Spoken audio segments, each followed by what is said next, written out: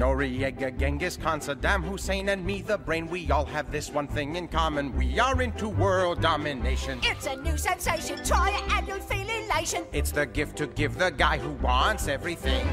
Military takeovers. Governmental makeovers. Keep it all at me confined. It keeps your junta occupied. have recently promoted me after my victory at Batonn. Look here at this dotted line. As overlord, I could combine and make this all one sovereign state. I'll Overlord, you are so great.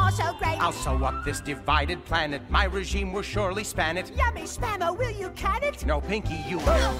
I'll learn the language if I must. You will gain the people's trust. I'll let them join my coterie. and you can buy their loyalty. They'll be the architects of their own destruction. There are several formulae I like to use for domination and to get the maximum effect out of a helpless nation. Crab meat or magnetic shoes, mind controlling pink tutus, or a giant signal tower to telecast my mental power. Think big, not small, Dominoes will start to fall. and then I can be the mouse who conquers man.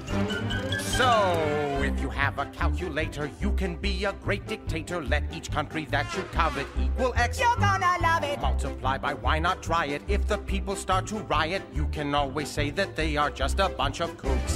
People just need to be led. By a mouse with a big head. To their weakness, they'll succumb. If you give them chewing gum, It may bother them a bit. but they'll soon get over it. They won't mind when I'm the czar of all that we see near and far.